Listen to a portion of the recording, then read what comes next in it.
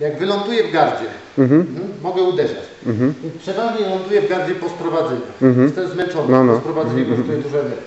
Pierwsza rzecz, kładę mu ręce na bicepsach i robię tak, Aha, żeby odpocząć. okej. No nie, bo jemu teraz będzie ciężko pracować rękami. No for you to work with your hands when- I have this grip, yeah? Okay. Then, when I get my... Okej. Kiedy em, złapię siłę, no nie? Z powrotem robię tak. Podnoszę się i stąd zaczynam pić. Czekam, aż on roze- rozepnie nogi. Aha, No nie?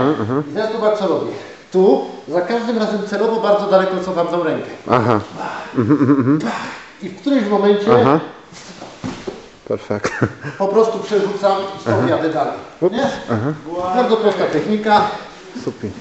czyli wyskakuję, zaczynam bić, biję, biję, beer, beer, beer, beer, mm -hmm. beer, beer, beer. Perfect. Okay? Mm -hmm.